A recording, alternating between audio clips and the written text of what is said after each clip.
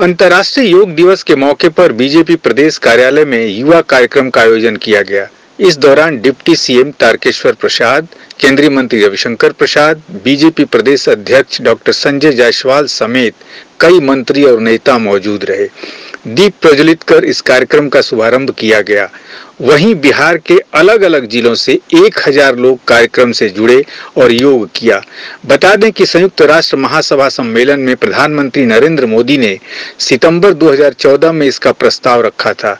इसका एक सौ सतहत्तर देशों ने समर्थन किया था। संयुक्त राष्ट्र महासंघ ने एक सौ तिरानवे देश हैं, जिसमें से 177 देशों ने विश्व योग दिवस मनाने का समर्थन भारत के प्रस्ताव पर किया था।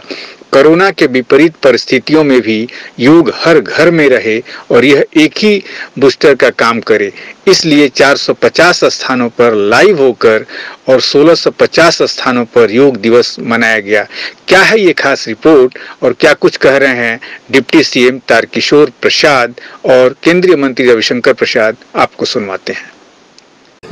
योग हमारी प्राचीन काल से एक धरोहर रही है। हमारे ऋषियों ऋषि मुनियों ने इस परंपरा को हज़ारों वर्षों से कायम किया। और अंतर्राष्ट्रीय मान्यता हमारे भारत के यशस्वी प्रधानमंत्री श्री नरेंद्र भाई मोदी ने 2015 से 21 जून को संयुक्त राष्ट्र संघ में इसे पेश करके लागू कराया। और 21 जून पूरे वर्ष का सबसे लंबा दिन होता है।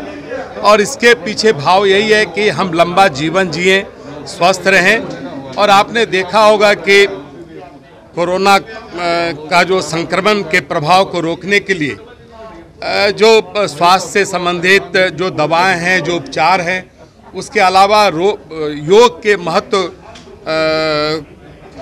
का समझ पूरे विश्व को बेहतर ढंग से आया और हम श्वसन क्रिया करके हम अपने मानव शरीर में ऑक्सीजन की मात्रा को कैसे बढ़ाएँ, कैसे अपने जीवन को लंबा करें, यह योग के द्वारा ही संभव हो पाया। योग एक वैज्ञानिक स्वरूप है और योग मन, शरीर और विवेक को कहीं न कहीं सामंजस्य स्थापित करता है। कोरोना की विपरीत परिस्थितियों में भी योग हर घर में रहे और यह एक इम्यूनिटी बूस्टर का काम करे, इसीलिए आज बिहार प्रदेश भारतीय जनता पार्टी ने साढ़े चार सौ स्थानों पर लाइव होकर के आप देख रहे थे सामने, साढ़े चार सौ स्थानों पर, इसमें हमारे केंद्रीय केंद्रीय मंत्री, विधायक, विधान पार्षद, जिला अध्यक्ष, मंडल अध्यक्ष शामिल थे।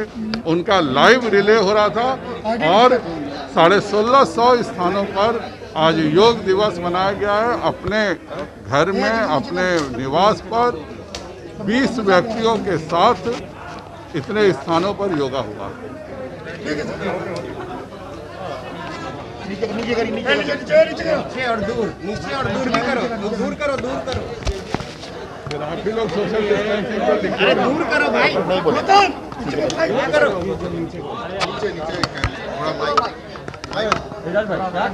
ये योग भारतीय संस्कृति और संस्कार की एक बहुत बड़ी धरोहर है। लेकिन हमें गर्व है अपने माननीय प्रधानमंत्री नरेंद्र मोदी जी पर। उन्होंने इस धरोहर को आज दुनिया के सामने इतने प्रभावी रूप से योग दिवस के रूप में प्रस्तुत किया है। और कोरोना काल में जैसा माननीय प्रदेश अध्यक्ष जी ने बताया, इसकी उपयोगिता श्वास क्रिया शरीर को मज़बूत करने और चिरंतन मानस के लिए जो योग का योगदान है, वो अपने आप में बहुत अनुकरणीय है। तो हम लोग के लिए बहुत गौरव की बात है कि हम लोग सभी पिछले सात वर्ष से इक्कीस तारीख को करते हैं और आज जो प्रदेश कार्यालय में और प्रदेश के 400 स्थानों पर एक कार्यक्रम हुआ है तो यही बताता है कि योग अब एक आंदोलन है। स्वास्थ्य के लिए, सद्भाव के लिए और शांति के लिए। धन्यवाद।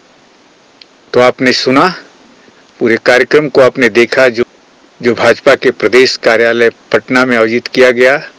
मंत्रीगण भी मौजूद रहे। ऐसी तमाम खबरों के लिए आप बने रहिए नेशन भारत के साथ। नेशन भारत चैनल को सब्सक्राइब कीजिए। हमारे फेसबुक पेज को लाइक कीजिए। नमस्कार।